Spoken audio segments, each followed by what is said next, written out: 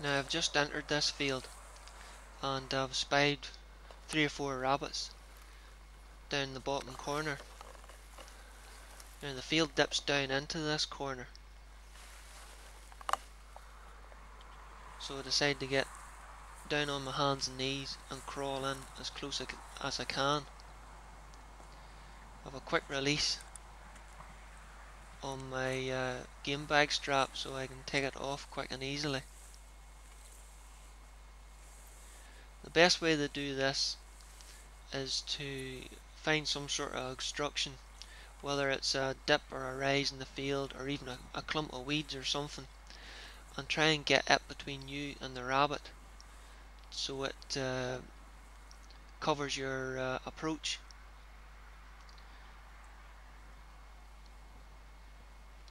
Now I'm going to range find the distance here and I find it's, it's about uh, 55 yards so I decide to get uh, crawl another 4 or 5 yards closer to make the shot easier. The field uh, dips down steeply now about uh, another 10-15 yards in front of me.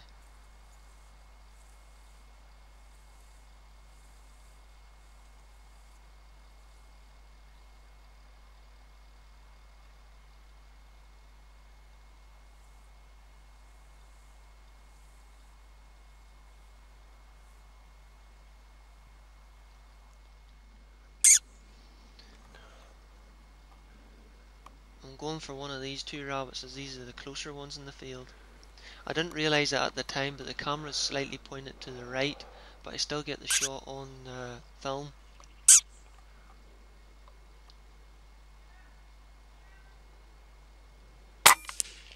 Headshot.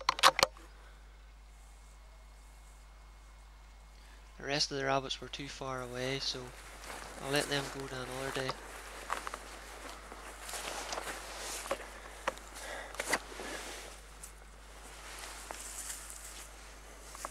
You can see the eye almost bulging out the rabbit's skull and the thick blood coming out of its ears. That means the pellet's going through the brain. Now I haven't seen too many other rabbits but I'll leave the game bag off before coming into this field. Hoping to see one or two rabbits before the, the heavens open with rain showers. And I spy this rabbit up the hedgerow so I tuck myself in close to the hedge using the overhanging branches to disguise my approach and just try and get uh, myself within shooting range.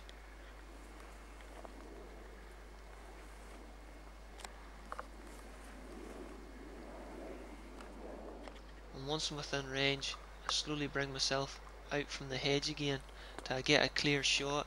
I have to move a wee bit further than I want it because of that dead briar hanging out of the hedge over the rabbit's ear. And then I get my shot off.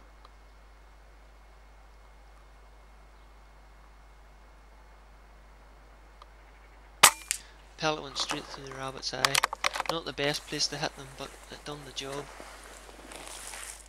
Now why I'm picking this here rabbit out the hedge and filming it with the camera, I look up and I see a fox about 50 yards away. Racing along the edge of the field, he must have just saw me. I sat down trying to get him on the film, but uh, he was away before I ever got the camera pointed to him. But by the looks of the remains of this uh, crow or rook, he's not the only boy that's hunting tonight. Now this rabbit's just over the brow of the hill here. The grass has been cut probably a week or two ago. It's all the same length. There's no cover to hide behind, no tall weeds, nothing. All you can do is get as low as you can and sneak in slowly and quietly. Rabbits know you're there, so uh, you're just trying to bluff it till you get within range. then I realised I hadn't uh, reloaded the gun from the last shot I'd made. So I put a pellet into the breech, catch my breath, concentrate on my aim and totally miss. But I see another rabbit sitting about 70-80 yards away he looks a bit jumpy, so uh, I get down on my knees and my elbows and I crawl my way in.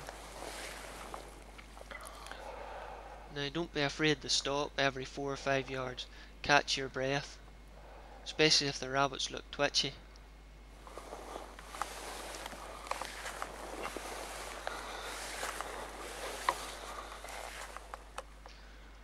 Now I managed to range find him, he's about 50 yards. Him with a clean headshot.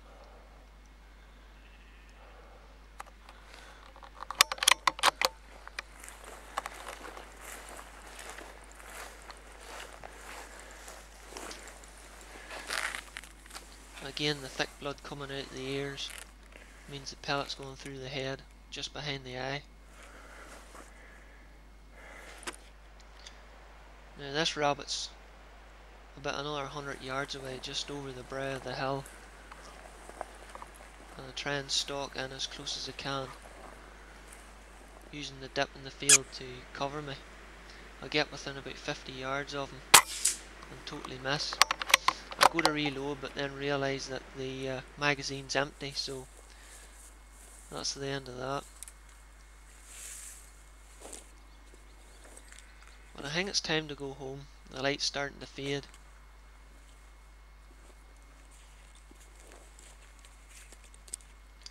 I think I'll have to hit the practice range after missing two easy rabbits.